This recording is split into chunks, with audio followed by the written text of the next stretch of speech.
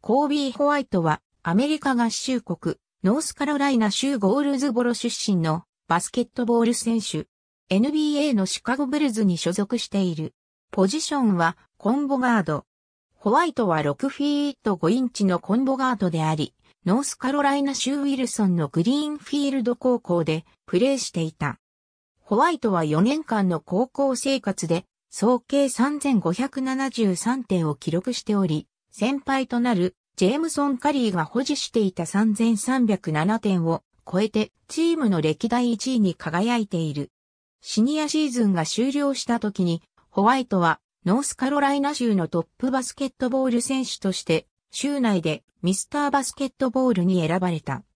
ホワイトは2018年のマクドナルドオールアメリカンに後に大学でチームメイトとなるネイサー・リトルと共に参加した。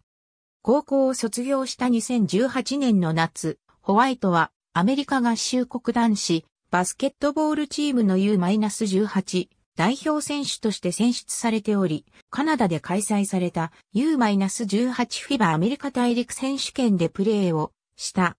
この大会においてホワイトは金メダルの獲得へ向けてチームを牽引する活躍を見せ、オールトーナメントチームに選出される栄誉に輝いている。ホワイトは2017年11月8日にノースカロライナ大学でプレーすることを決めた。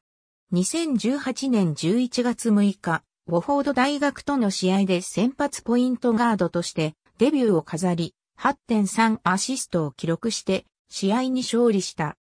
2019年2月26日、シラキュース大学との試合においてホワイトはキャリアハイとなる34点を記録し、93から85で試合に勝利する原動力となった。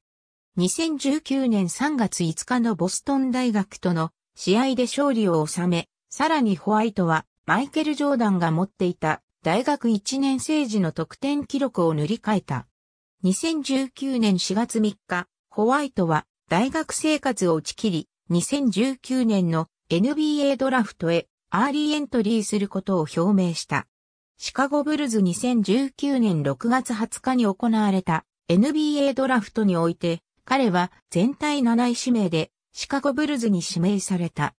2019年11月12日に行われたニューヨークニックス戦において第4クォーターだけでスリーポイントシュートを7本沈め、1クォーターで決めたスリーポイントシュート数のチーム記録を更新した。1年目のシーズンは主にシックスマンとして65試合に出場した。